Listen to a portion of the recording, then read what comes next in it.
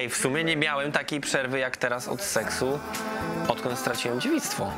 A ty, Mati, jak dawno nie uprawiałeś seksu? No, a, a ty, Kamil? Dwa miesiące, a ty? Co? Ciebie nie było z nami. Kiedy ja? No, kiedy ostatnio? Cztery dni temu. Cztery dni temu? A macie w związku Z Agnieszką byłeś w kryjówce? lubicie, Serio? że tak powiem, regularny, e, Serio? godzinny seks, czy bardziej tak co 2,5 godziny na przykład? Nie mówiłeś o tym. A pytałaś? Nie. No właśnie. Idźcie se pogadać na bok, dobra?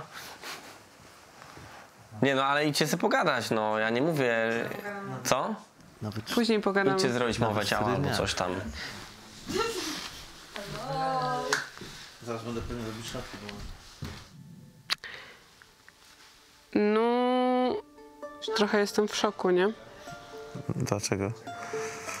No bo mówiłeś, rozmawialiśmy, pytałam się o twoją relację z Agnieszką, jak to wygląda i w ogóle. No i nie wspomniałeś o kryjówce i o tym, że do czegoś więcej doszło. No ale nie pytałaś. No.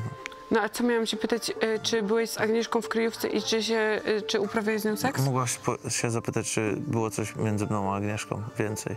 No czyli chciałeś z nią tworzyć coś poważnego. Czy chciałem? No, no trochę tak. Chciałem spróbować na pewno. No i nie była dla ciebie za młoda? No, miała po, ponad 18 lat, więc...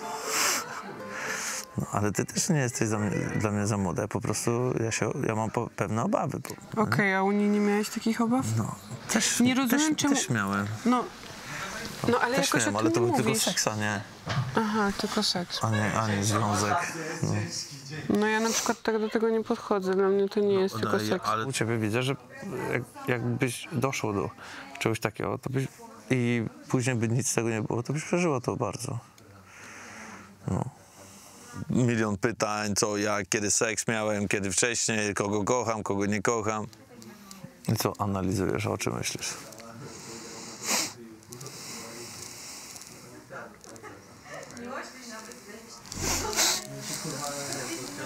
Co analizujesz?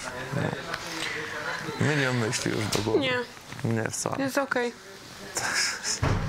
Nie, jest okej. No to dobrze. Myślę, że w tej sytuacji z Kubą jestem taka trochę zagubiona i nie wiem w sumie, co mam dalej robić.